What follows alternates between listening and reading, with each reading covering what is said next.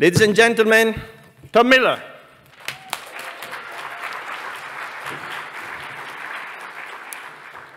Um, hi, good afternoon. I hope you all had a wonderful lunch um, and are loaded up on carbs so that you crash halfway through this presentation. All right, um, and uh, okay, can we get to slide one? I hope we sorted out the slide issue. I actually brought slides yes, sir. Yes, I did. Um, and, uh, and also, by the way, you're going to have to bear with me a little bit because I'm staring directly into extremely bright lights. Um, and the stage is a little wobbly, but I'm not going to complain. Um, all right, so what we're going to talk about today is uh, the future of sort of like standardizing the way we share information. Um, some approaches that are already being tried by certain organizations, um, some of them in this room, including my own, to try to advance past the limitations of the traffic light protocol, and uh, and also, you know, how we can possibly make an even better future if we work together and collaborate. So at the end of this presentation, I'm actually going to have a call to action for everybody in this room to come to the Birds of a Feather session that immediately follows.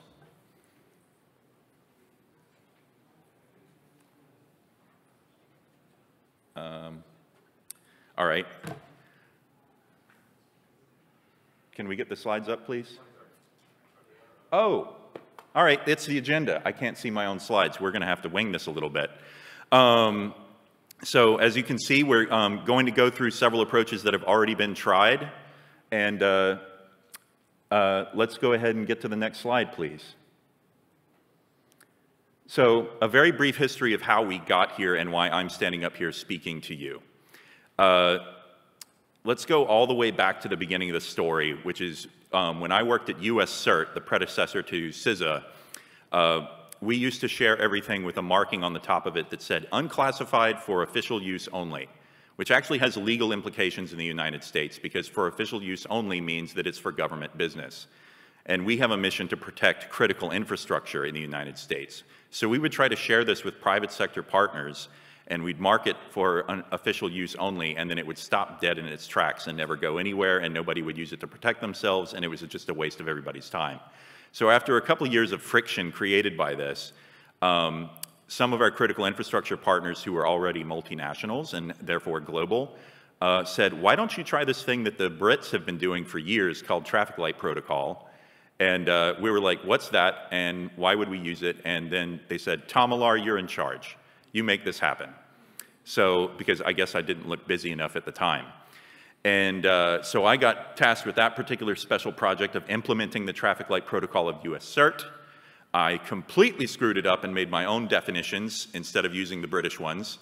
And then um, I realized other certs were having the same problem. So then in 2015, we went to, uh, I brought it to uh, the FIRST conference in Seoul, I think, or was 2016 So Anyway, doesn't matter. Um, brought it to the FIRST conference and said, we need to develop a special interest group devoted to one standard version of traffic light protocol to rule them all. And we did that successfully, except for the part where we needed a 2.0 version, which we then worked on for a number of years, and then we brought that back and put it in place uh, um, last year at the Dublin conference. We announced it.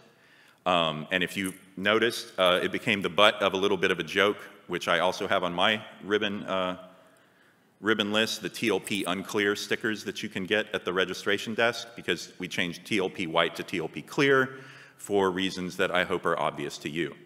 Um, and, uh, and yeah, that's more or less the story. That's where we stand today with traffic light protocol and why I'm speaking to you about it. Next slide. Oh, oh I have the remote. I don't know how anything works. I'm a technologist. Um, so identified limitations of TLP is basically like it only deals with sharing. We have this question all the time in the SIG um, for TLP, which is that people come to us and ask about, like, what does that mean about encryption? We say that doesn't answer the questions about encryption, that's on you. Well, what does it mean about, you know, like, um, actions? What kind of actions can I take with it? Can I do active countermeasures? Can I only do passive monitoring? Can I take this IOC and throw it into Google? Is that going to be okay? And we're like, it doesn't answer that question. That's on you. And, uh, and these are challenges that keep coming up. And, uh, Um, and there's also some licensing concerns. There's other things that have popped up from time to time, but the most common ones are actions and handling in terms of encryption and other things. And uh, these are some other approaches that people are trying to use to solve the problem. ACS is the access control specification. And if you can't tell by the shape of this PowerPoint slide and the image on it, this is a US government specific um, approach. It's a giant PDF. It's a very intensive specification, and it pretty much relies on you already having strong policies in place and legal, legal, um, legal authority, legal weight to those policies. I don't personally recommend anybody else in this room do this. It's just something we have to try. However, it does, in its own sort of like possibly overweight approach, um, uh, give you answers to what kinds of actions can be taken, who can it be shared with, and how to handle the information, and et cetera, et cetera. So that's ACS. I wanted to share that just as an example of something that is being tried. Um, the Permissible Actions Protocol, PAP. Um, this is already in use by some certs around the world, um, and it uses this. It, so this is actually uh, one of the problems I have with PAP. Can anybody guess what it is? It's the same colors. It's the exact same colors. This is not great user experience design. Um, because I think this could be very confusing to someone who sees PAP for the first time and then equates the TLP colors with the PAP colors. Also, one other possible issue with it is that it's trying to answer, each of these colors is trying to answer two questions at once, handling and action at the same time. I worry that that's maybe a little bit overweight and maybe a little bit too much to keep in your head while you're trying to process and act on information, especially under the time constraints we often are in when we're trying to share stuff far and wide to protect networks in a matter of hours. So I think this is a great first, I think this is a great effort. I really like the ideas that are in it. I don't think it's necessarily the, the best design that it can be. I think it has potential though. And then there's IEP, which is created by a FIRST SIG um, a few years back. IEP um, IEP answers all of the questions, and it does them in very discrete, granular ways. So on that front, it's actually one of the better designed um, options. It does, however, suffer from automationitis, which is my name for let's JSON everything, right? It's not, it's like, it's like I said up there, it's like uh, technically a human with enough time on their hands could like go through and like read all the references and check it out and like be like, yep, yep, yep, yep, yep, I get everything in this JSON blob but that's not, again, that is somewhat suboptimal for the pace at which we operate. Um, also, that's going to be really ugly if, ugly if I have to stick that on top of every PDF that we're going to publish out of CISA. Um, and I, we have to admit to ourselves as a community, we're not going to get out of the business of publishing PDFs, right? JSON everything is great for IOCs. It can be great for subsets of incident reporting. Um, it can be great for a lot of things, but it's not going to get us out of the business of pushing around guidance and other documentation and other things that, uh, that really need to ride as a document rather than a blob. Um, and where do we need to go? Eh, I think we need, I think we need granular, discrete answers to the questions that keep popping up about action and handling. I think we need them to be very ergonomic. I think them need to be well designed for human readability first and machine processability second, because we can teach, we, we have enough brain power in this room alone to teach the machines to interpret the human readable content appropriately. I think that's a solvable problem. Um, and uh, yeah, and I, I, let's see and we need and, and the handling action and sharing we need we need to address all of them sort of comprehensively. I think i've already said that. Um, this, these are some examples of sort of like use cases or challenges. Um, challenges are not the same as problems but these are challenges that we need to overcome uh, in order to make a new specification a new standard or new set of standards as best as it can possibly be and I'm not going to read the slide to you. you can, I can see everybody's head is already doing that. So, um, Lastly, uh, sharing outside, uh, so there's a lot of words on this slide. That is because this is my editorializing about this particular problem after years and years and years and years and years of helping implement TLP at my own organization and coaching other organizations on how to implement TLP for themselves. Um, I believe I am a firm believer um, in this day and age that the traffic light protocol label or designation is best left to be slapped on the document when it's leaving the house, when it's leaving the organization. Don't put TLP amber on something in a draft form. Um, don't put TLP red on anything in a draft form because then people get really confused. Um, use that when you're ready to share outside of your own organization. Inside of your own organization, you need policies that have some that some have some weight to them. You need to have uh, you know ways of handling drafts and you need to account for the whatever in your jurisdiction amounts to a sunshine law, Freedom Information Act, um, things of that nature. So for sensitive information inside of your own organization, I highly recommend developing your own policy. Use TLP for sharing with others. And uh, conclusions, use TLP. Who doesn't use TLP in this room? Is there anybody in this room who's not currently using TLP when they share with others? Excellent. Um, is anybody willing to admit that they use IEP or PE, PAP right now? All right, I see a couple. All right, so not the broadest adoption, just a handful of hands in the room, but if it's working for you and your constituency, I totally encourage you to continue doing that, refining your processes and seeing how broad adoption we can get with those. In the meantime, though, my main call to action, of course, is to join us for the Birds of a Feather and ask really hard questions of me while I'm up here. Um, how are we doing on time? I got plenty, don't I? All right. I went through this pretty fast because I really hate reading slides to people. Um, I hope this has been at least a great, uh, some great food for thought and a discussion starter. Um, and thank you very much for your time. It's time for questions. Thank you.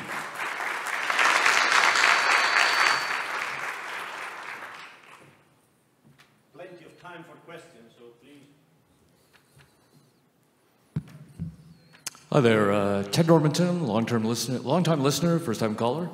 Uh, you talked about one of the problems being uh, most information is shared via PDF, and as opposed to sharing metadata, etc. Um, as one of my side hobbies, hobbies is photography, we use EXIF files to put a lot of metadata in. Those can be attached to PDF files. Could IEP be used as a way of putting EXIF onto PDFs since most of us are dealing with electronic versions of PDFs anyways. And that's a way to go and, and digest that information rather than try to print it all at the top of the, uh, the PDF. That can, okay, if I'm understanding you correctly, this would be approach, this would be approach to use if the machine can interpret that data before the human sees it how is the human going to know what the IEP stuff says? No, you, well, I mean, there are, there are tools out there for reading EXIF data. So if you've got the, the file there, you might be able to have a way of sharing a lot of information. And you can put the key components into the document and use an EXIF reader to try to go and so, show what the information is that's, that's of interest to you. Or we could develop some tools. Um, I think, again, I'll go back to one of my issues, which is that sort of like the granularity, I, so I, I have concerns about too much granularity as well. One of the things about TLP that is um, that makes it so simple and so readily adopted by everybody is that it's it's got only four things. It only answers one question. It does that in relatively discrete but not perfectly discrete fashion. IEP is very granular, can be very granular and discrete, so how granular is too granular for a human to actually like understand in a timely fashion and then keep that in their head while they're working? Does that make sense? Yeah, but it could also be used by machines for automated sharing of, of PDFs or other types of files. Well, Because we push a lot of, in our case, we do a lot of automation. We're trying to get away from humans actually handling the material as much as possible. I have a bias towards humans because that's the American way. Um, but the uh, no, seriously though, we have we have such a diverse set of constituents with so many different maturity levels of um, technology that we have a lot of concerns around automation with our different partners.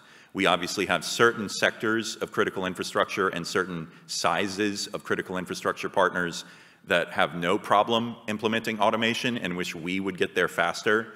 We also have lots and lots of uh, folks that we're still trying to coach up on TLP too, um, because they barely have a cybersecurity program, yet they provide essential services to thousands of Americans, right? So I have to account for a broad, a, a broad um, and diverse population of different maturity levels, different automation uh, capabilities, and our own, you know, capacity for automation at my agency, as big as we are.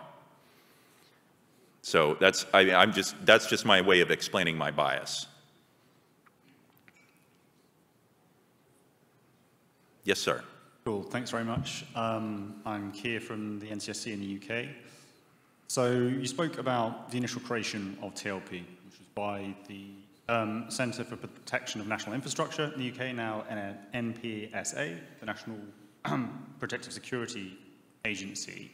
And when it was set up, it was supposed to be a bit of a catch-all for all types of information.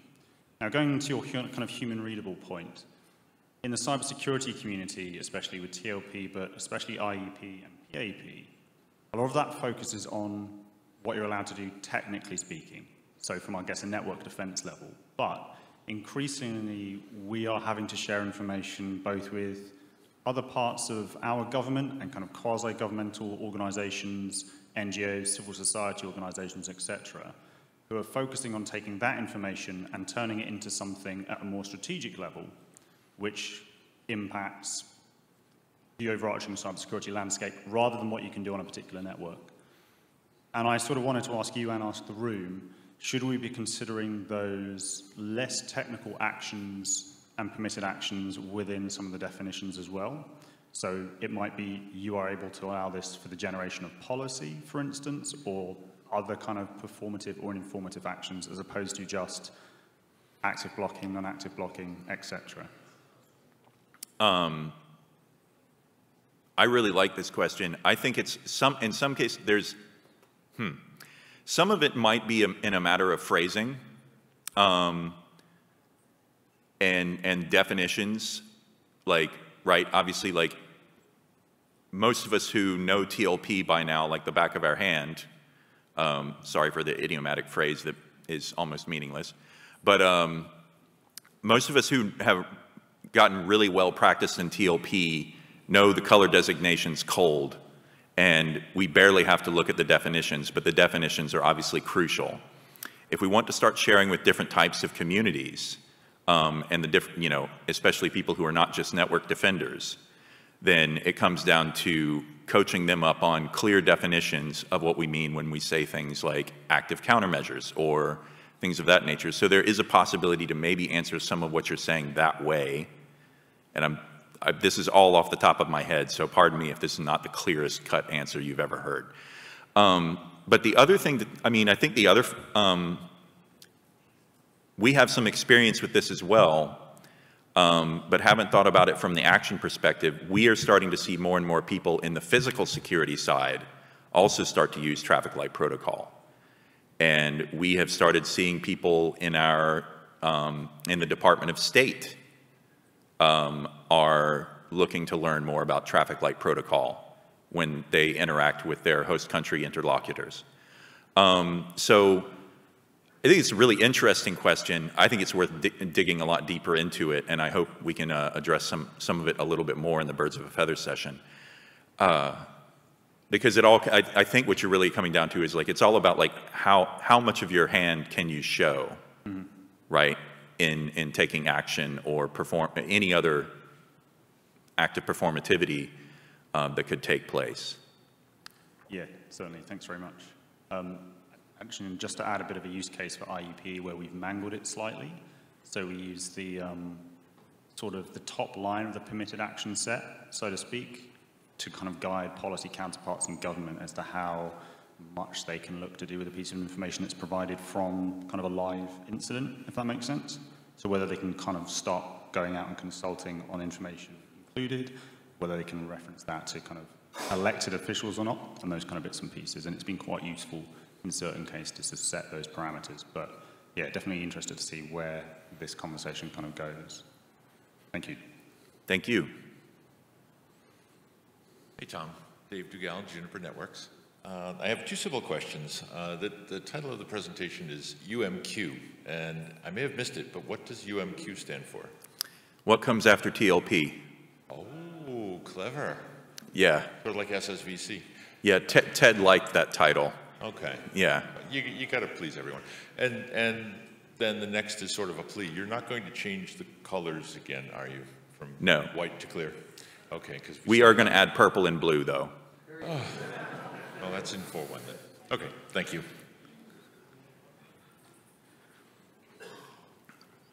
Any more, any more questions? Come on. You got 20 minutes. Dude, y'all, do you want to tell us? y'all really want uh, another coffee break so early? Or is the presentation so good, like it was just like so clear cut, you can't wait to get to this birds of a feather session? Thank you. Thank you so much.